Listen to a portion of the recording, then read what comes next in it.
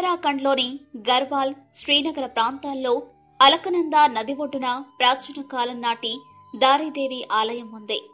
అలకనంద నది ప్రవాహాన్ని ఈ దేవత నియంత్రిస్తుందని ఈ ప్రాంత వాసుల గాఢమైన నమ్మకం.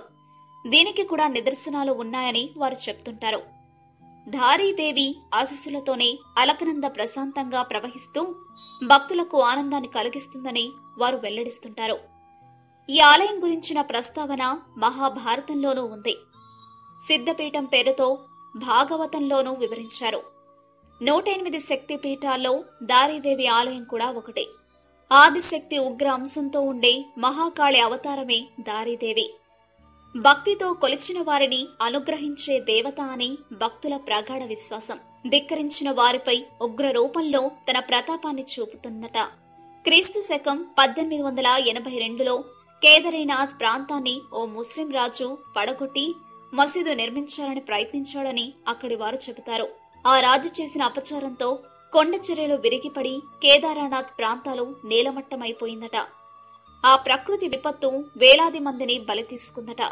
దేవి మహత్యాన్ని ప్రత్యక్షంగా చూసిన ఆ ఇస్లాం రాజు తన ప్రయత్నాన్ని విరమించుకున్నారట.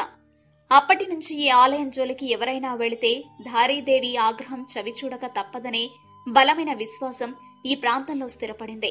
నాలుగేళ్ళ క్రితం ఉత్తరాఖండ్లో వచ్చిన భయంకరమైన వరదలకు ఈ దేవి ఆలయాన్ని తొలగించడమే ప్రధాన కారణమని స్థానికులు ఆగ్రహిస్తున్నారు.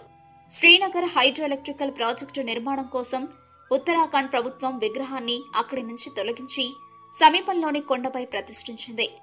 ఆ మరుసటి రోజే ఊహించని కుంభవృష్టి కురిసి అలకనంద మహోగ్ర రూపం దాల్చి విలయ తాండవం చేయడంతో సుమారు పదివేల మంది ప్రాణాలు కోల్పోయారు.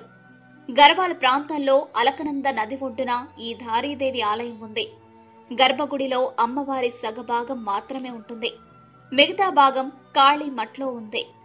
విచిత్రమేంటంటే ఈ క్షేత్రంలో దేవి రూపం మారుతుంది. ఉదయం పూట బాలికగాను మధ్యాహ్నం నడి వయస్కురాలుగాను సాయంత్రం వృద్ధ స్త్రీ రూపంలోకి మారుతూ ఉంటుంది. కాళీమఠలో నిజానికి అమ్మవారి మిగతా శరీర భాగం ఉండదు. ఆ స్థానంలో ఒక స్త్రీ యంత్రాన్ని పూజిస్తారు. ఆది శంకరాచార్యులు స్థాపించిన ఈ స్త్రీ యంత్రం అమ్మవారి యోనికి ప్రతిరూపంగా భావిస్తారు. ఈ పీఠానికి ఉత్తర దిశలో కేదార్నాథ్ జ్యోతిర్లింగం ఉంది. ఇలాంటి మరెన్నో విషయాలు మీరు తెలుసుకోవాలనుకుంటే వెంటనే మా ఛానల్ని సబ్స్క్రైబ్ చేయండి. ఈ వీడియోని మీ మిత్రులతో షేర్ చేసుకోండి.